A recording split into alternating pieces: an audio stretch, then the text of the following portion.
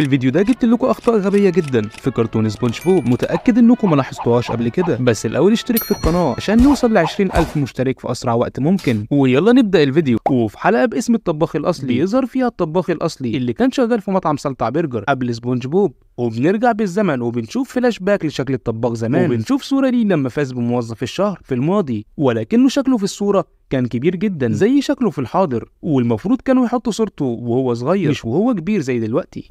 وأكتر حاجة غريبة أكيد كلنا لاحظناها هي الإيد اللي كانت بتظهر في كرتون سبونج بوب. يا ترى مين هو صاحب الإيد دي؟ صاحب الإيد دي ظهر في حلقة تنظيف الحمام. وظهر في الحلقة اللي اتغير فيها. بيت سبونج بوب لأشكال كتيرة وكمان ظهر كطبيب في واحدة من الحلقات. بس مين هو الشخص ده؟ الشخص ده اسمه باتريك.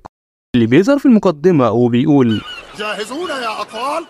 وهو صاحب الإيد اللي بتظهر في الحلقات. الخطأ التاني هو مش خطأ ولكنه شيء غريب بيحصل في قاع الهامور طول الوقت. وهو إن الحجارة حية زي باقي الشخصيات. في حلقة توصيل البيتزا بنشوف سبونج بوب بيقود حجر وبنشوف حجر تاني في سباق الحلزونات من ضمن المتسابقين. واللي بالمناسبة الصخرة دي هي اللي فازت بالسباق ودي من أغرب الحاجات في كرتون سبونج بوب. حلقة بعنوان شخص ما مع ساندي في المطبخ. حصل خطأ غريب جدا. ساندي دخلت تستحمى وخلعت الفرو بتاعها. فشمشون بيسرق فروها وبيروح لمقرمشات سلطع فساندي بتجري عريانة في شوارع قاع الهامور عشان تلحق شمشون اللي سرق فروها. الخطأ في الحلقة دي إن ساندي كانت ممكن تطلع بالبدلة بتاعتها اللي دايما بتلبسها وبتكون مغطية جسمها كله بدل ما تطلع بدون ملابس كده أغرب شخصية في كرتون سبونج بوب هي شخصية العم جينكيز لأنه ظهر بأكتر من شكل على مدار الحلقات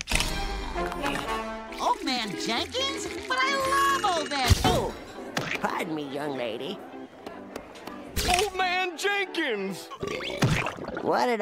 تفتكروا هل ده خطأ ولا بالفعل؟ كلهم العجوز جينكيز. اكتبوا لي في التعليقات. خطأ التالت من حلقة شفيق الشبح العنيد. لما فكر سبونج بوب وبسيط إن شفيق مات وإن شبحه رجع عشان ينتقم منهم وبدأوا يخدموه الحلقة حصل فيها غلطتين في بيت سبونج بوب. شوفوا معايا بيت سبونج بوب الطبيعي إنه له شباكين. ولكن بنشوف في الحلقة دي إن ليه ثلاث شبابيك ودي أول غلطة في الحلقة. تاني غلطة وهي إننا بنشوف بيت سبونج بوب اختفى تماما من المشهد.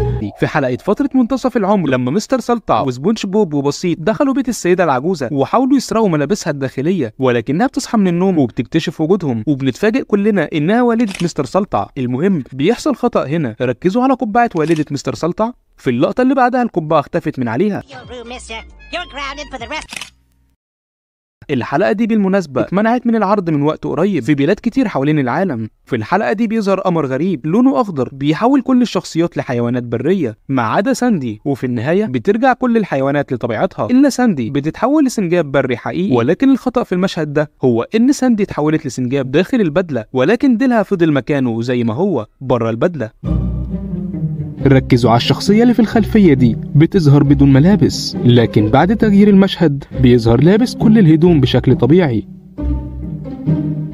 ومن حلقة بنطال الطبيعة بنشوف سبونج بوب بيتخلى عن حياته في المدينة. وبيعيش في الطبيعة وسط أناديل البحر. ولكن من أول لسعة من مجسات الأناديل بيرجع للحياة المتحضرة من تاني. في بداية الحلقة بنشوفه وهو بيجهز سلطع برجر. بس لو ركزت في المشهد ده هتلاحظ حاجة غريبة جدا. أيوة. الشواية في مكان مختلف تماما. كلنا عارفين إن الشواية دايما بتكون تحت النافذة اللي عند شفيق. ولكن هنا كانت في الاتجاه التاني من المطبخ. وفي حلقة جنون الشوكولاتة ظهرت الشخصية دي وكان بيدعي إنه مريض وما بيقدرش يتحرك. لكن في الحقيقة هو شخص نصاب لأنه باع لسبونج بوب وبسيط الشوكولاتة بسعر غالي جدا وهم وافقوا لأنهم افتكروه مريض فعلا فصعب عليهم. ولكن لو ركزنا هنتأكد إنه نصاب محترف لأنه لما زاروا سبونج بوب وبسيط في بيته هنلاقي صور ليه وهو على كرسي متحرك وصور لجسمه تانية بيحاول يظهر فيها مرضه عشان يصعب على الناس. لكن في الحقيقة هو مش مريض وكان بيعمل كده عشان يكسب عطف وثقة بسيط وسبونج بوب وينصب عليهم. في حلقة وقت النوم بنشوف سبونج بوب بيدخل في أحلام كل الشخصيات وبيزعجهم لغاية ما بنشوف كل الشخصيات بيروحوا عنده في البيت وبيصحوه من النوم لأنه بيزعجهم في أحلامهم.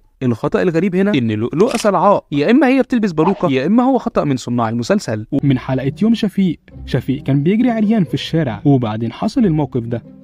ضع بعض الملابس. ضاع بعض الملابس. امم بس ثانية واحدة يعني هو ابنها اللي لابس حاجة أصلا هي حرفيا ملبسة ابنها بوكسر أزرق بس. ولو ما أخدتوش بالكوا أصلا شفيق ما بيلبسش هدوم من أول الكرتون هو بس بيلبس قميص بني من فوق. وفي حلقة القبعة النادرة لما مستر سلطع حاول يسرق القبعة من سبونج بوب لأنه عرف إنها بتساوي ملايين. الخطأ التاني لما مستر سلطع رسم شبح على الورقة عشان يخوف سبونج بوب ركزوا على الشباك هتلاقوه في الدور الأول مع إن غرفة نوم سبونج بوب في الدور التاني ولما بيبعد مستر سلطع عن البيت بنلاحظ الشباك رجع مكانه في الدور التاني في حلقة الحبار الرائع بنشوف شفيق رايح يشتري حاجات من السوبر ماركت وبنلاحظ شارع والجانب التاني منه بيكون فيه بيوت لكن بعد ما بيخرج شفيق بيتغير مكان البيوت تماما. وبتبقى جنب المحل ولازقة فيه. أكيد معظمكم ما أخدش باله من الغلطة دي.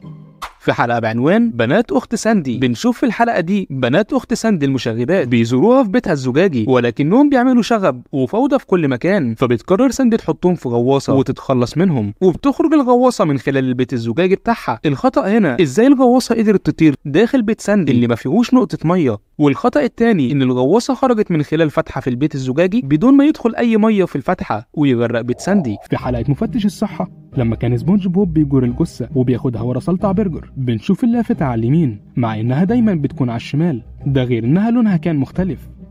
في حلقة قاع المحيط بنشوف سبونج بوب مش لاقي محفظته ومش معاه فلوس يدفع لسائق الحافلة بس بعديها بثواني بنشوفه بيشتري شوكولاتة. وفي حلقة المحارة السحرية بنشوف شفيق وهو ماسك المحارة في إيده وبنلاحظ إن لون إيده اتغير للون الأصفر. أما المشهد ده فيه حاجات كتيرة ممكن نحللها. يعني بصوا الصورة دي مثلا بتفكرني بالمشهد ده. بس الصورة دي غريبة جدا. ما علينا. أما دي من حلقة شفيق الوسيم. شفيق أنت الآن أكثر وسامة. أما الصورة دي من حلقة قديمة بس اللي حصل فيها العكس تماما.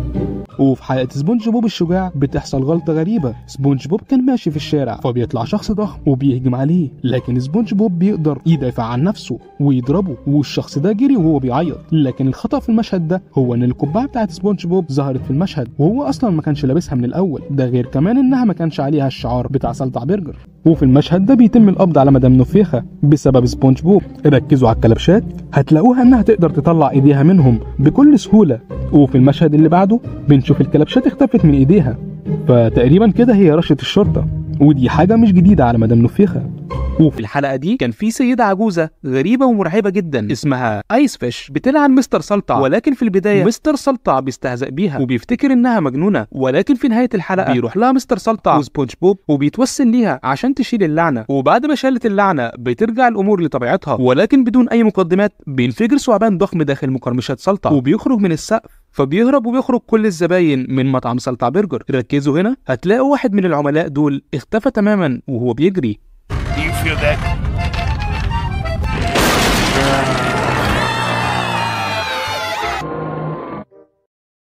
عرفني أكتر خطأ غبي شفته من وجهة نظرك